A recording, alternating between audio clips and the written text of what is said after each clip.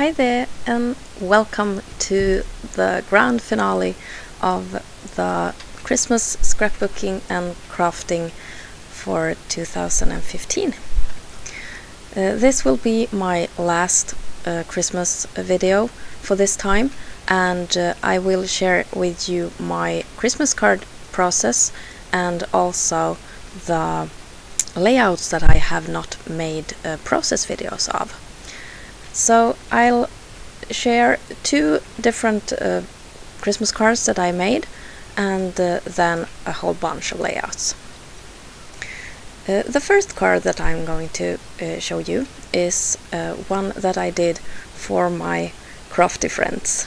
So these were made for special people that would appreciate the, the work that I uh, put into it.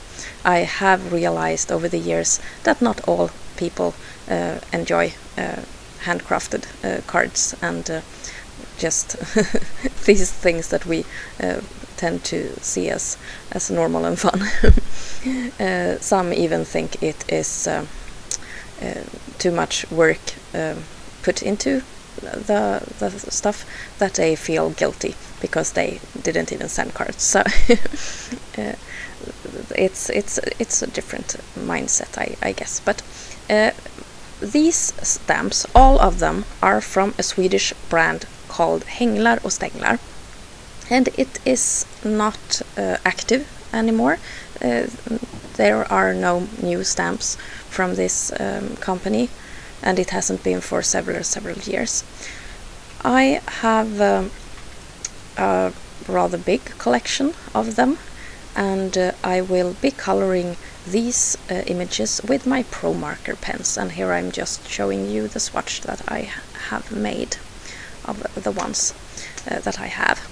I have been coloring with the Pro Markers for over 10 years now or no, not over 8 years now. I bought them when my uh, daughter was uh, a tiny baby and uh, I love them. I have no intention to start using another uh, coloring method, method as long as I can find uh, these pens. They suit my style very very well and there are enough colors to just uh, keep me satisfied and uh, I, I love the technique. I'm stamping on watercolor paper with uh, Adirondack Pitch Black from Ranger and uh, I have the the ink pad that is um, uh, beige in uh, the actual box and not the I think the other one is, is white. Mm, and that's the one you need when you're coloring with Pro Markers pens. I don't do anything special or fancy with my coloring. I just color like you did when you were a kid. And uh, for me that's okay. That that's my process. And and I usually do like this. I just stamp a bunch of uh, different uh, images and then I take one uh, color at a time so that I can just finish the coloring in a quick and uh, e easy uh, way. And uh, I try to keep my color choice to a minimum. I have realized that when I choose too many colors it gives the the total impression um, it, the total impression becomes a bit uh, uh, hard for the eye to, to cope with. So I try to just choose a um, small number of uh, of uh, colors and, and go with those. When you uh, color in the skin tone of the of the little girl there I, I always feel that it's like magic when she comes to life with the, the, the skin tones. Uh, I guess you have heard about another Swedish stamp brand, it's called Magnolia. And these two brands, uh, Hänglar Stänglar and uh, Magnolia, they kind of appeared uh, at the same time uh, and became popular at the same time. And uh, then it, it kind of became either you liked the the one or the other and uh, I, I always liked Hänglar and Stänglar more and uh, then they stopped making stamps, and that was very very sad. Uh, I for a while I kind of felt brainwashed to like magnolia stamps, but uh, I, I can't say that I, I enjoy those anymore. I, I think they have way too big eyes uh, for my liking, so I don't buy uh, stamps like this uh, any longer. I have a couple of magnolias, but uh, I don't color with them uh, that much. All of these images are well-known Swedish symbols of Christmas, like the lingonberry and the saffron bread buns, the goat and the braided hearts, paper hearts, and the gingerbread biscuits that I'm coloring right now. And to go with that, I really love to to color this uh, girl uh, dressed up uh, as a, a baker or a chef. I, I think uh, she is uh, really easy to um, like color her for a lot of different occasions. You just choose the uh, colors of her uh, clothes differently. So I I have made lots of uh, birthday cards with her, um, like baking cakes for for the birthday person, and and that's uh, really fun. I think it's a versatile uh, stamp. I'm really sorry that I'm out of focus, but I think that will become better in just a couple of seconds. What I do now is uh, a, a, trick or uh, a thing that I learned when I started uh, making uh, or coloring uh, stamped images, and that's that I go around all the images with a warm dark, warm gray uh, marker to create somewhat of a shadow. This helps with the cutting because I plan to cut out all these images with my fine scissors and uh, then I will piece them together to form a scene uh, on the Christmas card.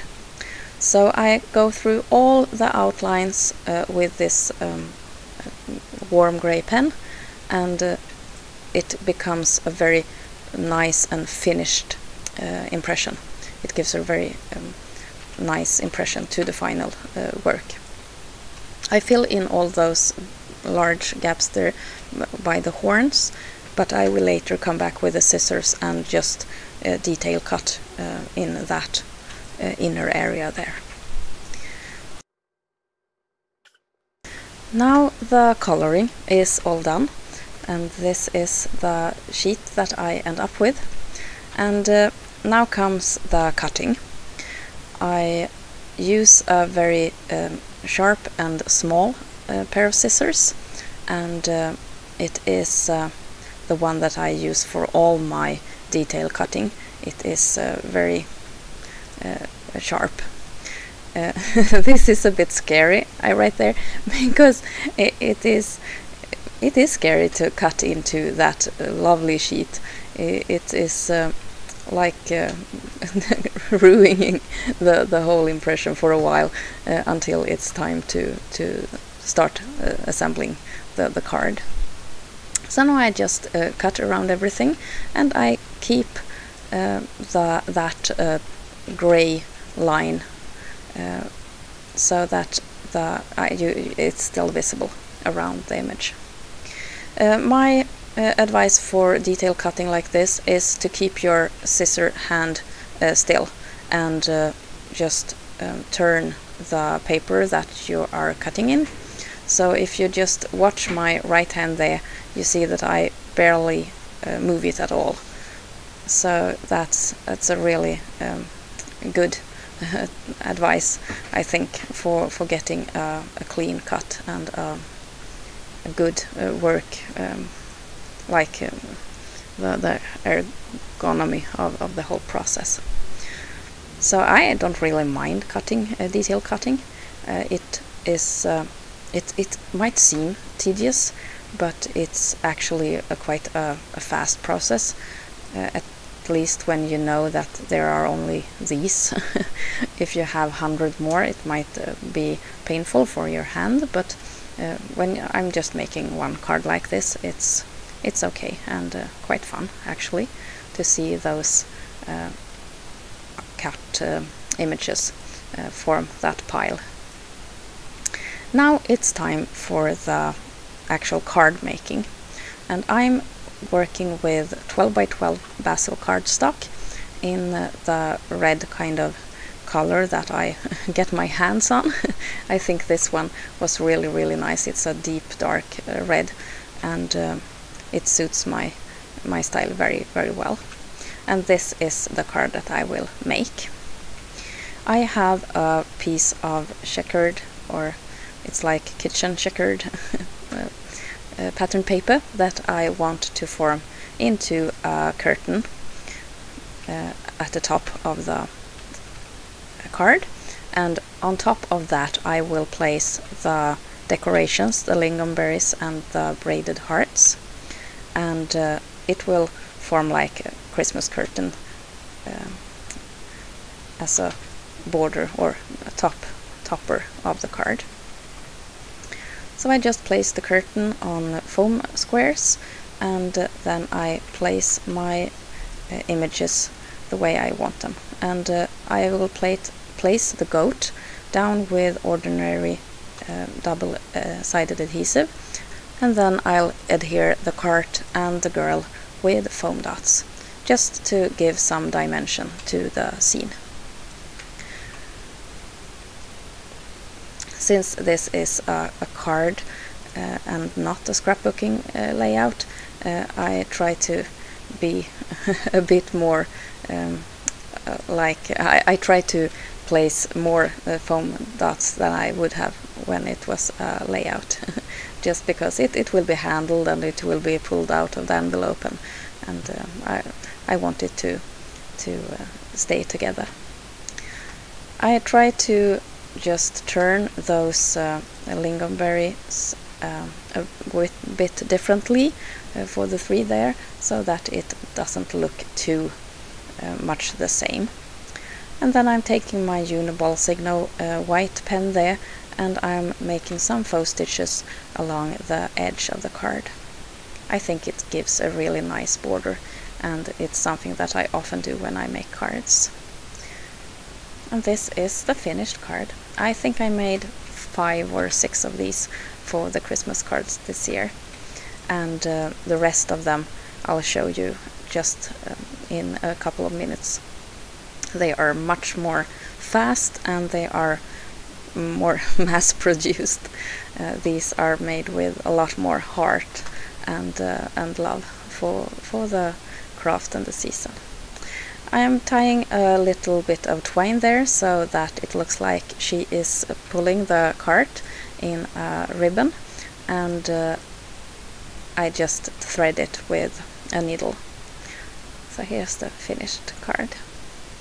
I'm very pleased with this one. it's it's uh, very much my style. Mm? Uh, now you'll see the process for the many cards that I made. I think I made almost 30 of this kind. I stamped an image in black. I used the StazOn black ink and uh, then uh, on watercolor paper. And then I sprayed it with uh, uh, Heidi Swapp Shine in gold and uh, I dried the whole thing with a piece of paper uh, just to get away the excess because uh, it's it gets very sticky if it's too much. And now I'm just uh, taking all the red cardstock that I had and I make uh, card bases uh, six by six inches big. And I don't have a bone folder but this plastic ruler does the job just as well. then I had lots of um, like Project Life-like cards from old Simple Stories collections.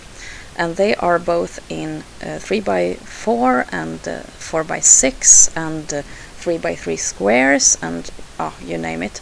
And uh, they are in this kind of muted, um, traditional, uh, old-fashioned uh, style and I thought those uh, went very well with this uh, gold shimmery uh, stamped image. So these stamped images won't be colored in in any other way than this uh, gold shine. And it's just a silhouette, so uh, I don't think that I could have colored it in, in any good way anyway. And I'm just cutting these uh, different cards into sizes that can fit on the card bases and then I'm placing the uh, stamped images on foam uh, tape and onto the uh, like the paper uh, layered papers.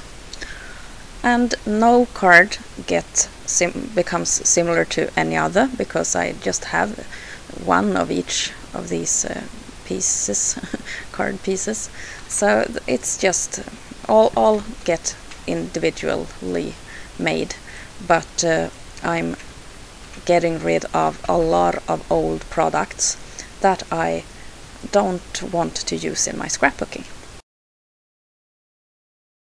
Even though I wanted to keep everything very simple on these cards, I wanted to add something a bit more.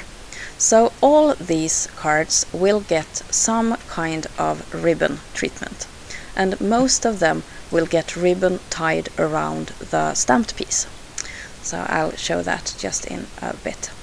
And uh, I'm using uh, two kinds of ribbons I think for, for the cards and it's the uh, like nature colored one with gold and the red, green and white baker's twine.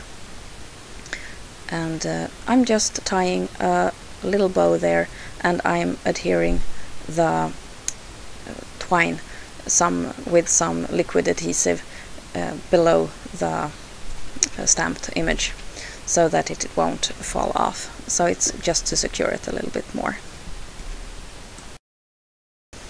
The film you see now it is times 8 so it might look a bit in industrial but, but I remember it was really nice.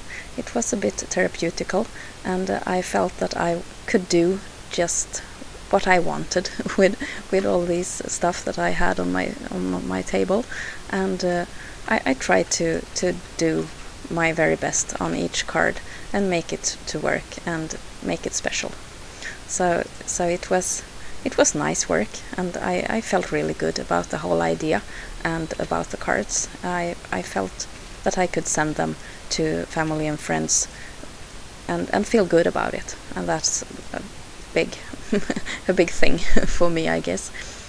Uh, the these cards I made a lot of them and I I guess most people that get them are more interested in the inside of the cards. Uh, I write, uh, I handwrite uh, just a sentiment on the inside of the card. I write uh, Merry Christmas and Happy New Year and then uh, all our names. And then I add a photo of the kids. And I guess most people are most interested in that photo uh, because I try to take a really nice photo of the kids every year and a bit Christmas themed. And I'll soon I'll show you the card for the the photo for this year. And uh, I I think that that tradition of uh, sending Christmas cards is is really really sweet and really nice. Uh, I guess a lot of people don't do it anymore, and, and a couple of my friends, for example, they they decided to uh, give the the money for uh, to charity instead of uh, um, sending cards, and and I totally understand that. That was really really uh, sweet. So I, I do understand that, but this is also part of my uh, Christmas, getting in the Christmas spirit process. So I, I kind of uh, want to, to do it. I do donate to charity as well. mm. uh, so I just this is just the process. I'm piecing together and layering just to, to make it look special. Every card was special. Here are some of the cards that I made during this process and a close-up of some of them. These have been published on my uh, Instagram uh, earlier. And uh, here are the uh, here is the photo that was enclosed in the Christmas cards of the two kids. That's a really nice photo, I think. Now it's time for some layouts. I made so many Christmas layouts and uh, I used up lots of old products. I think this is Bo Bunny papers that I've had for ages. This is my son from 2014 in his Christmas clothes, surrounded by a homemade watercolored frame. This is a layout I made for a, a sketch challenge over at Victoria Marie. Here is the making of our gingerbread house last year or 2014 and some gift opening photos of my son. This is with the Cartabella collection. I made lots of layouts with Cartabella papers and I just loved it. I took out all the papers and embellishments that I had and then I just made layouts. I sat in the sofa by the TV and had spread everything out in, in the sofa and on the table and everywhere and I just made layouts. It was lovely. A multi-photo collage with uh, us building Lego and here's Christmas dinner from uh, oh, two years back at least and some gift opening uh, photos and I've used lots of those uh, large wood veneers that I bought from China uh, a while back and uh, I think that I could just sprinkle them everywhere. These are lovely photos of my daughter when she was really small. and these are a bit uh, when she was a bit uh, older. Still very sweet. Uh, baking gingerbread biscuits uh, together by the kitchen table. Really fun work, we always do that. And some playing in the snow. I used up lots of cards and lots of uh, really sweet uh, papers. Shoveling, every day I'm shoveling. and some more uh, Lego building on the 25th. Uh, I love those photos. More uh, playing in the snow. These are really old, 2013. And these are even older. I think it says 2010. and I was pregnant with my son, so it's just one kid in the photo. More Lego. We always build a lot of Lego on Christmas Day. We started at uh, uh, 4 4.45 on Christmas Day with Legos. and uh, here are the table from many years back when we had Christmas dinner over at our place. And here's some more snow photos. The last layout of this layout share, share is the only one with photos from 2015. These are the Christmas card photos and uh, the Christmas card photo and one more from the same photo shoot uh, and uh, I think the, the photos are absolutely adorable and I'm very pleased with this layout as well. I love the papers from Simple Stories Cozy Christmas collection. Thank you so much for watching. See you soon. This is Åsa. Bye!